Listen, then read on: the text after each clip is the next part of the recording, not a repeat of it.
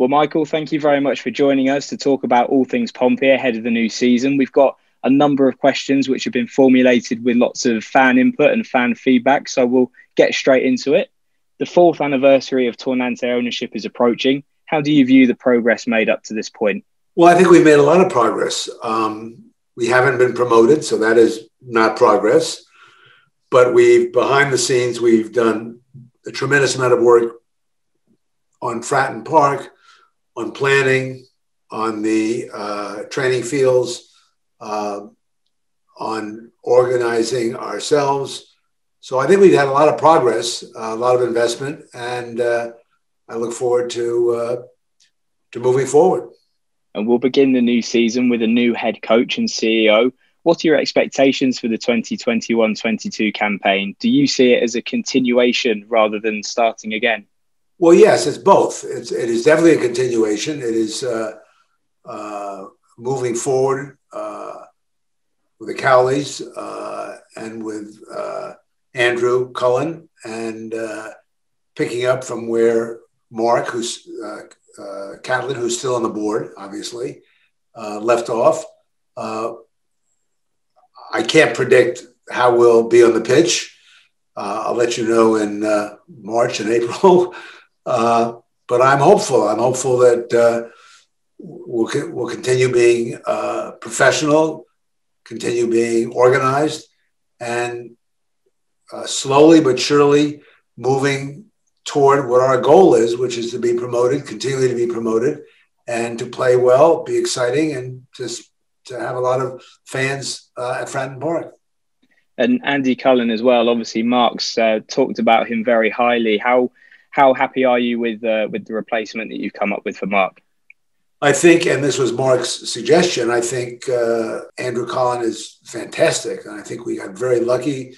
Uh, you know, we were very fortunate to have Mark, to continue to have Mark, but to have Mark as the CEO when we acquired the team. That was one of the assets that we we felt. Uh, uh his strength and his leadership was maybe the most important reason, well, one of the most important reasons why we were interested in acquiring the club. Uh, and Andrew Cullen, uh, it's hard to believe that that, uh, that we have somebody as good as Mark. Uh, maybe he'll be better. Certainly won't be worse. Uh, and he's very strong and and, and very professional, um, liked by the organization. And I think we uh, we were very fortunate to be able to attract him to Portsmouth. But of course, Portsmouth attracted him, not me.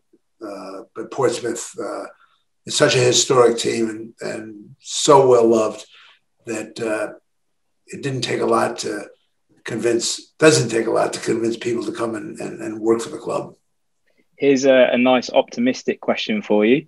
Will there be additional investment in the playing squad if we're promoted before we become fully self sustaining?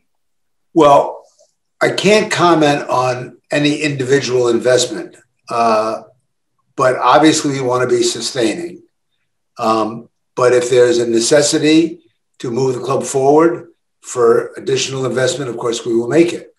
We're we, are we are making enormous investments uh, in the infrastructure in Fratton Park. Uh, obviously, uh, a club, uh, a facility that was built decades and decades and decades ago uh, needs a lot of work.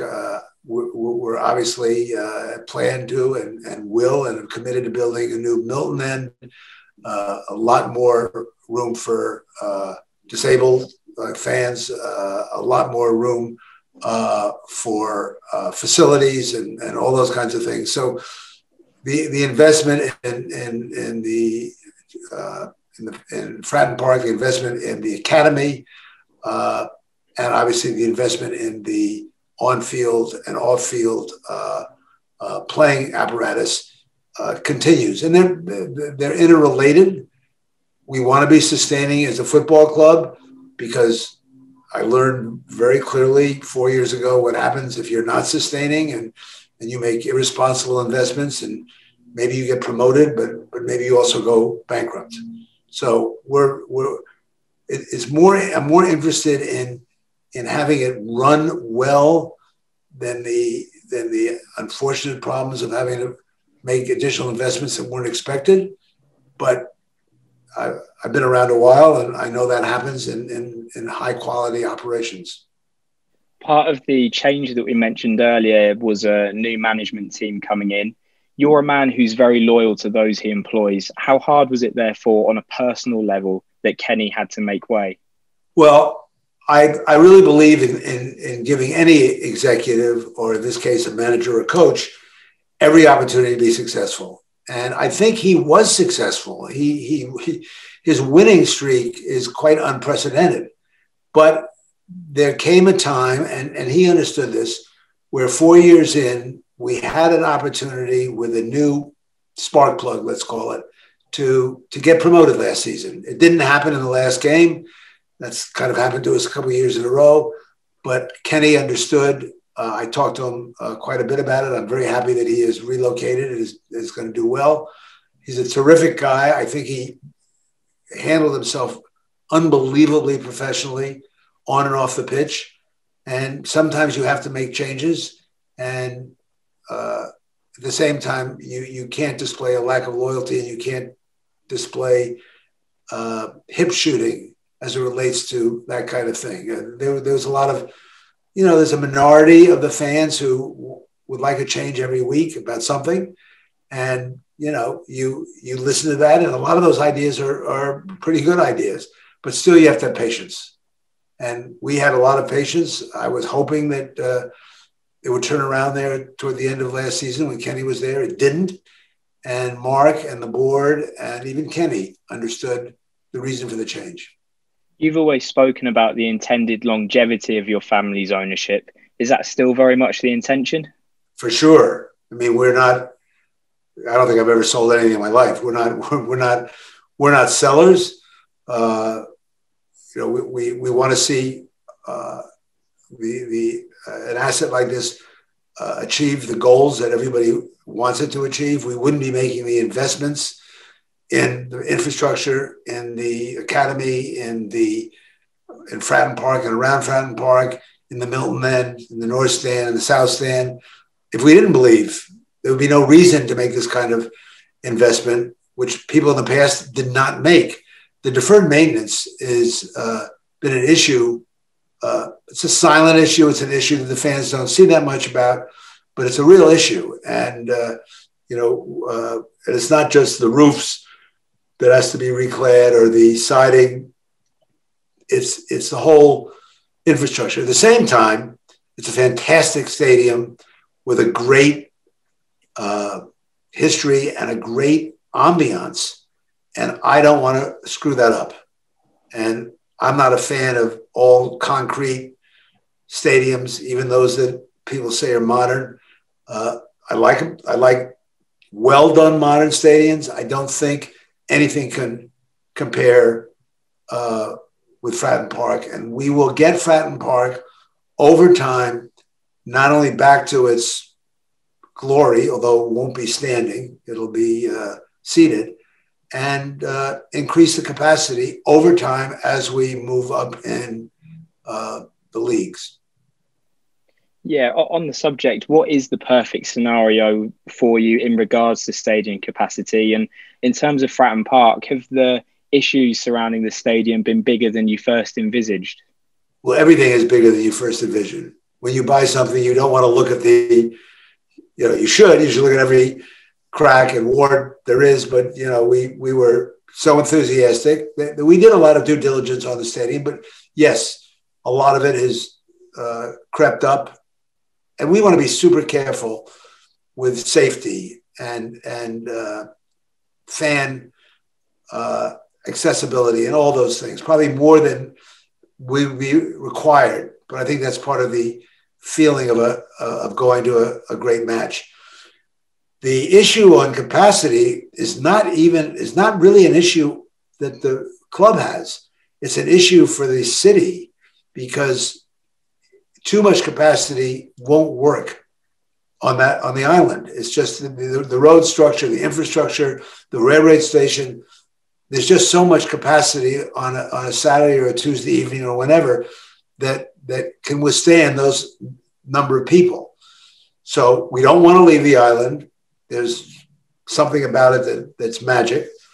Uh, and therefore we have a, a limit to the size of the stadium and the size of the city. And we will keep encouraging the city to make it easier to expand. But I don't know. It's uh, we're certainly going to get back up to twenty thousand with with the new Milton end. Uh, maybe 25, 30,000 over time. I don't see it being the city being able to support uh, a 50 or 60,000 even in even in the Premier League. It just would would probably is not workable. Um, but we'll see where it goes. I mean, first we got to get on the pitch and move up. We got to get the the uh, Fratton Park back to where it should be in all the areas of, of, of bathrooms and safety and exits and all those things, entrances. Uh, and that takes time. And we have, I think we have a plan that we've submitted or announced a four year plan to get to that point. And, you know, we, we have to do it mostly in the downtime in the summers.